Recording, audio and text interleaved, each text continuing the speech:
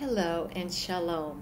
This is Catherine DeRoos, and I thought I would show you around the entrance of the Aliyah Return Center, also the ARC for short. Um, the entrance has a special driveway in the shape of a teardrop, and in the center are two Israeli flags.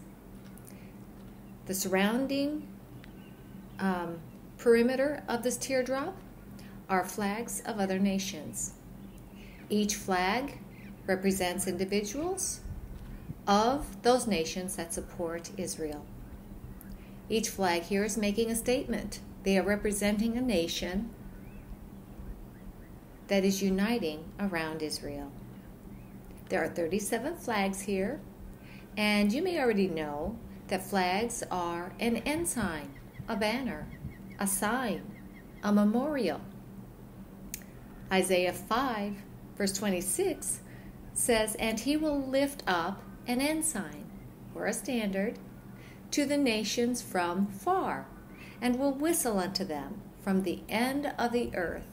And behold, they shall come with speed swiftly. The individuals or groups behind these flags are supporting Israel by praying for Israel, sending laborers to help in Israel, and sowing financial seed. The idea of the teardrop reminds me of Psalm 56, verse 8, where tears are mentioned. These tears in a bottle represent remembrance. He remembers all the things that happen in our lives. He is a tender hearted father to us. He is a Father who feels with us and weeps with us. And He remembers our suffering. And He also remembers the sufferings of Israel. We can take comfort in that He remembers. So every time I walk this teardrop, I think about Israel's tears and the Lord God's tears over Israel. We must never forget God's promises to us.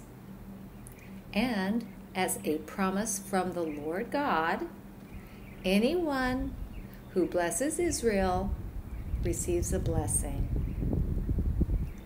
Be blessed today. Until next time.